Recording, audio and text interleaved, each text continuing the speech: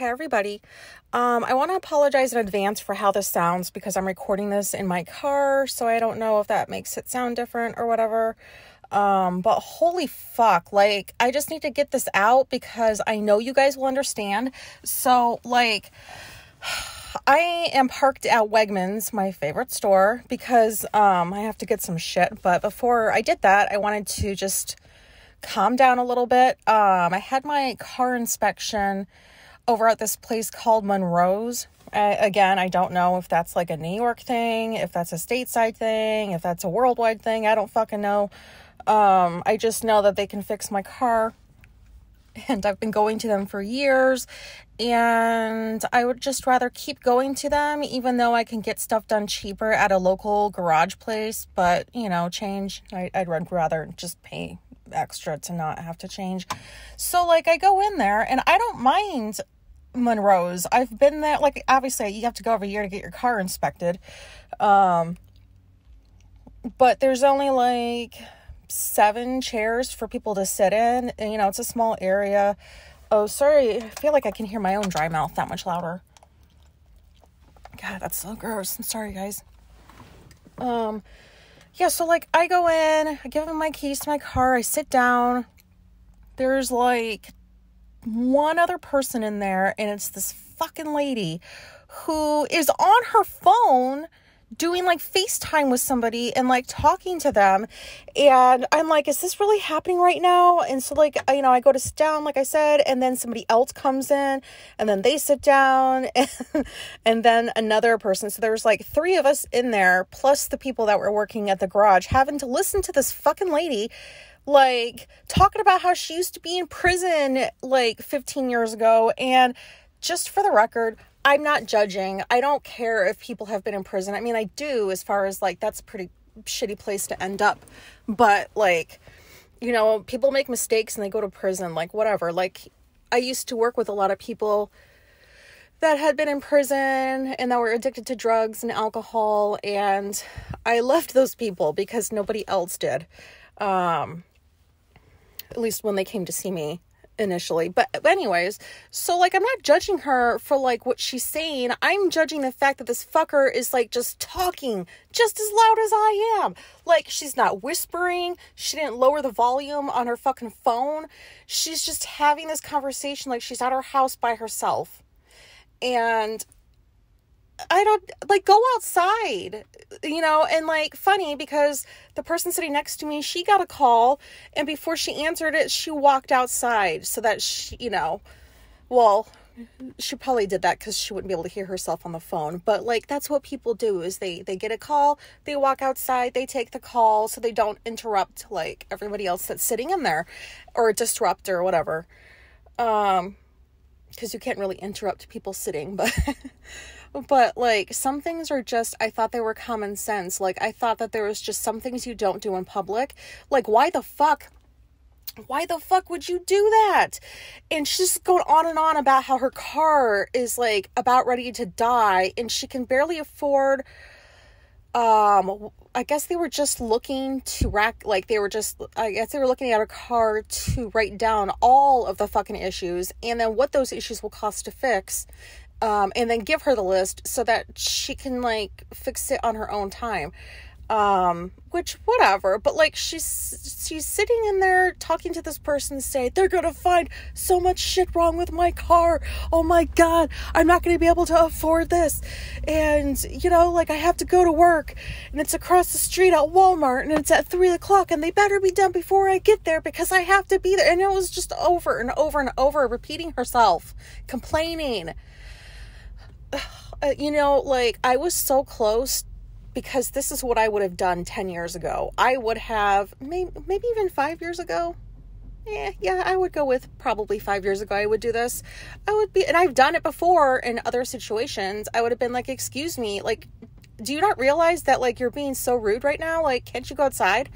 And, you know, just from experience, that never goes well there's confrontation there's just i i don't need that i don't want that anymore I'm too scared to point out to somebody that's just like on a phone call. I mean, if somebody was doing something wrong, like illegal or immoral, I would definitely say something. I don't give a fuck. But like stuff like that, um, I just I don't say anything because I know it's not going to go well. The person's not going to like apologize. At least it's never happened in my case where they're like, "Oh, I'm very sorry. I didn't realize this." And then they go somewhere else like outside or something. But no. Like if you don't realize either you don't realize how the fuck loud you are or like you seriously don't give a shit that these people can hear you oh my god like i don't even like when my wife can hear me doing a pot like recording she has to be out of the house most of the time for me to feel comfortable doing that. Like oh and so before i came to this appointment um i was looking for a new kindle book to read um because I just, you know, like I don't like to bring actual books because I don't I don't care for people to see what I'm reading. That's like a whole thing. But anyways, and plus I never lose my phone and my Kindle's on my phone all the time. So I found this book and I was it was about um autism that I hadn't come across yet and I was like, "Ooh, I'm so excited to read this. This will make the time pass by quickly while I'm over at Monroe's." And you know, like I've hung out in there for like 2-3 hours before while they were fixing some shit. And I don't get bored as long as I have something to do, which usually just involves reading on my phone. That's all. As long as my brain is like engaged with something productive, I'll wait. I don't care. And I'm not one of those people that like uh, will drop my car off and then come back later for it because then they'll just take their time to get around to it. But anyways, this is so tangential. That's not even what I was calling or talking about. I'm calling. What the fuck? Yeah. So, uh, uh, so about the Kindle because that did relate. I I read like maybe fifty pages, and I don't remember a fucking thing I read. So I'm gonna have to go back and just start over because I I just I was losing my fucking mind and like this is all happening in my head. Nobody can tell that this is how I feel. I'm not visibly upset. I'm not sh- like looking annoyed or tapping my foot in annoyance or anything like that. This is just all inside of my head. I'm screaming like, "Shut the fuck up! Shut the fuck up!" Oh my god, just shut the fuck up. Like I feel crazy in situations like that. Like it, and whenever I not just because I think that that's just that was so fucking rude that she did that, but I don't know, like oh, oh I forgot what I was going to say cuz a train just went by. Oh my God. I park in the same spot in the same area every time I go to stores because, like, I'll know if I go to that area, my car will be there, there somewhere. So, like, I park right in front of, like, where the train goes by.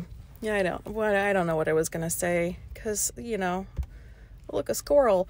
But so the lady left two minutes before my car got done.